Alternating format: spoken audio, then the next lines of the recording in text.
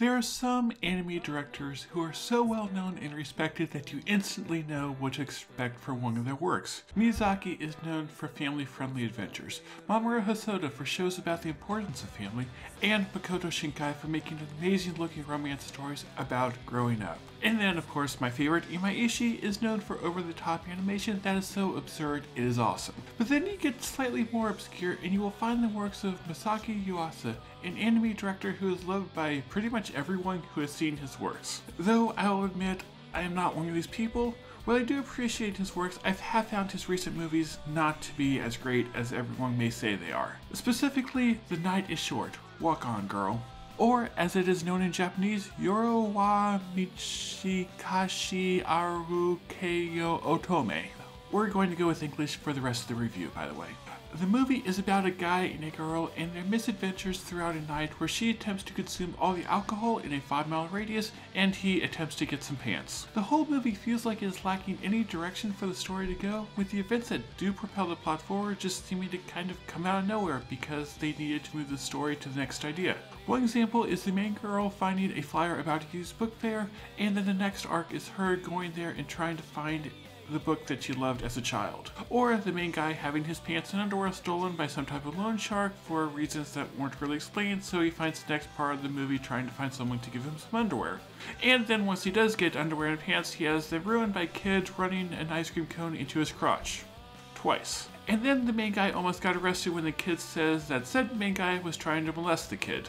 Yeah, it's really nice that these characters had names. It makes things less confusing. So yeah, not making this up nor do I find it funny.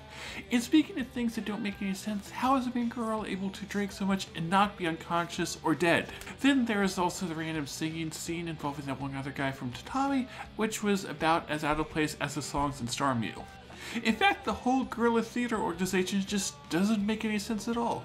Not to mention the giant organization that's supposed to get people to return overdue library books. Though, now that I'm thinking about it, maybe I'm just looking at this wrong.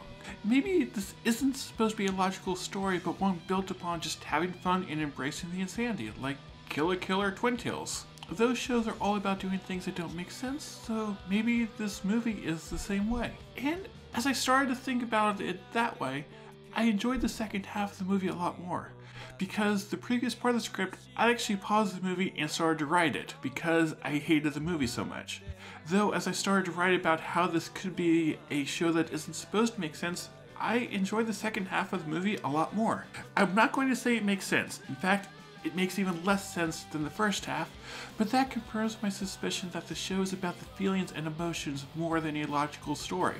And because of this, the story was able to culminate in love confessions during the final act of the play. The characters were singing out their hearts as the bizarre events continued to befall them, and each of these events added to the emotion of the scene. Then you got to the final arc of the movie, and that was able to build off of all this, showing the two characters come to finally be able to share their feelings with each other, even if they didn't really understand their own feelings, which all led to a very satisfying end.